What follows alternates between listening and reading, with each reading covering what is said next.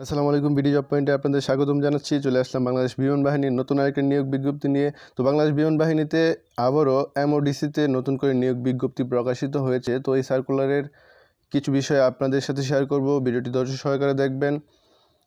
তো দেখেন, এখানে এমওডিসিতে নতুন করে একটা নিয়োগ বিজ্ঞপ্তি প্রকাশিত হয়েছে। তো প্রার্থীর যোগ্যতা, নাগরিকত্ব, বাংলাদেশ, বাংলাদেশের নাগরিক হতে হবে এবং শিক্ষাগত যোগ্যতা, এসএসসি বা সমমান পরীক্ষায় জিপিএ সর্বনিম্ন টু পয়েন্ট পেতে হবে।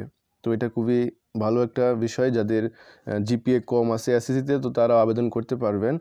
তারপর বিবাহিত অবস্থা বৈবাহিক অবস্থা অবিবাহিত হতে হবে এবং বয়স, এক্ষেত্রে এটাই আরেকটু অন্যরকম একটা বিষয়। তো এটা দেওয়া আছে এখানে ষোলো বছর থেকে একুশ বছর। তো তিন অক্টোবর দু হাজার একুশ তারিখে হতে হবে। তো অন্য অন্য যে সার্কুলার অন্য অন্য সার্কুলারের মধ্যে কিন্তু সতেরো বছর দেওয়া থাকে। কিন্তু এখানে কিন্তু অন্যরকম একটা, আরেকটা মজার বিষয় হলো, এখানে ষোলো বছর থেকে একুশ বছর দেওয়া হয়েছে। তো এটা খুবই ভালো একটা দিক। তারপর প্রার্থীর উচ্চতা কমপক্ষে পাঁচ ফিট ছয় ইঞ্চি হতে হবে এবং বুকের মাপ কমপক্ষে তিরিশ ইঞ্চি, স্বাভাবিক অবস্থায় এবং সম্প্রসারিত অবস্থায় বত্রিশ ইঞ্চি।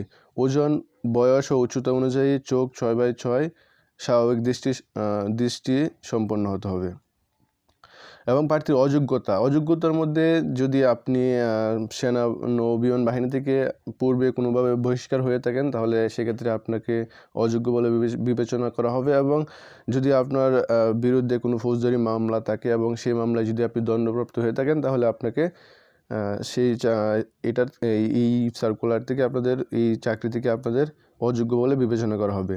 তারপর দেখেন নিচে আসলে এখানে আবেদন কিন্তু অনলাইনে করতে হবে। শুধুমাত্র অনলাইনে আবেদন গ্রহণ করা হবে। এক্ষেত্রে join Bangladesh air force dot mil dot BD ওয়েবসাইটে অ্যাপ্লাই না বাটনে ক্লিক করে হ্যাঁ রেজিস্ট্রেশন করে করতে হবে। এক্ষেত্রে রেজিস্ট্রেশন ফি আপনাদের একশো পঞ্চাশ টাকা পরিশোধ করতে হবে, অফেরতযোগ্য। তো আশা করি এটা বুঝতে পারছেন। তারপর দেখেন এখানে প্রয়োজনীয় ছবি ও সনদপত্র। এখানে আপনার যত শিক্ষাগত যোগ্যতা আছে, সব শিক্ষাগত যোগ্যতার সনদপত্র অবশ্যই সত্যায়িত হতে হবে। তারপর নাগরিকত্ব, চারিত্রিক সনদপত্র, বৈবাহিক অবস্থা সনদপত্র, স্থায়ী ঠিকানা সনদপত্র ইত্যাদি আপনাদের সঙ্গে নিয়ে যেতে হবে।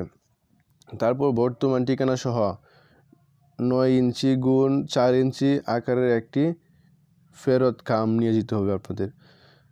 তারপর দেখেন অনলাইনে আবেদনের সময়সীমা। তো এখানে আবেদন শুরু হবে দুই মে দুই হাজার একুশ থেকে আট আট মে দুই হাজার একুশ।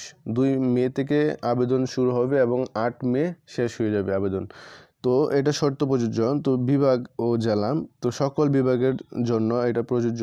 কিন্তু এখানে তারা কিছু জেলা, কিছু জেলাকে তারা মানে না করে দিছে যে আবেদন করতে পারবে না। তাদের মধ্যে যে সকল জেলা আবেদন করতে পারবেন না, তারা হলো মানিকগঞ্জ, মুন্সীগঞ্জ, নরসিংদী, ফরিদপুর, গোপালগঞ্জ, নেত্রাকোনা বান্দরবন, কক্সবাজার কাগড়াছড়ি লক্ষ্মীপুর, রাঙামাটি, জয়পুরহাট পাবনা, নাঠুর, গাইবান্ধা, কুড়িগ্রাম, নীলফামারী, ঠাকুরগাঁও, ঝিনাইদহ, নড়াইল, সাতক্ষীরা, চুয়াডাং, চুয়াডাঙ্গা, কুষ্টিয়া, মেহেরপুর, ভোলা, ঝালকাঠি, পটুয়াখালী, হবিগঞ্জ, জেলা ব্যতীত সকল জেলার প্রার্থীগণ আবেদন করতে পারবে।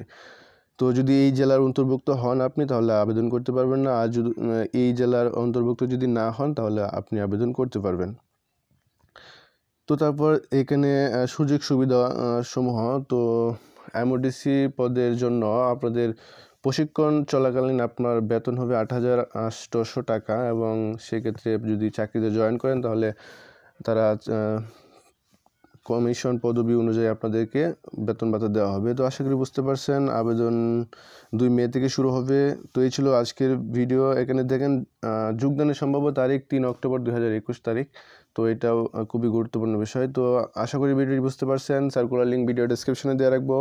আপনারা সেখান থেকে আরও বিস্তারিত দেখে নিতে পারবেন। আর যদি আমার চ্যানেলে আপনি নতুন দর্শক হয়ে থাকেন, তাহলে চ্যানেলটিকে সাবস্ক্রাইব করবেন। কারণ এরকম নতুন নতুন চার, চাকরির বিজ্ঞপ্তি আমি প্রতিদিনই আপলোড করে থাকি। তো ভিডিওটি ভালো লাগলে অবশ্যই লাইক দেবেন। দেখা হচ্ছে নতুন কোনো এপিসোডে নতুন কোনো সার্কুলার নিয়ে। সেই পর্যন্ত সবাই ভালো থাকুন, সুস্থ থাকুন। আল্লাহ হাফিজ।